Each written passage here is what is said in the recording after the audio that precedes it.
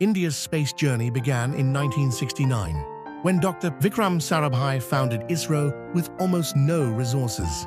Just a handful of scientists working out of a small church in Kerala.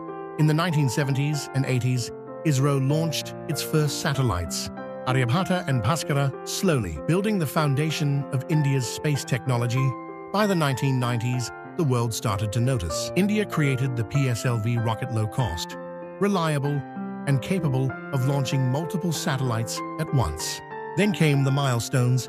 In 2008, Chandrayaan-1 orbited the Moon and discovered water molecules.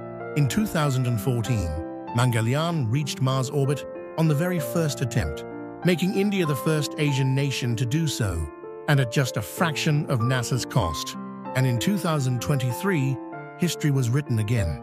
Chandrayaan-3 landed successfully near the lunar South Pole, the first nation in the world to achieve this feat. From a humble start in a fishing village to touching the moon, ISRO has proven that with vision, dedication, and courage, even the stars are within reach.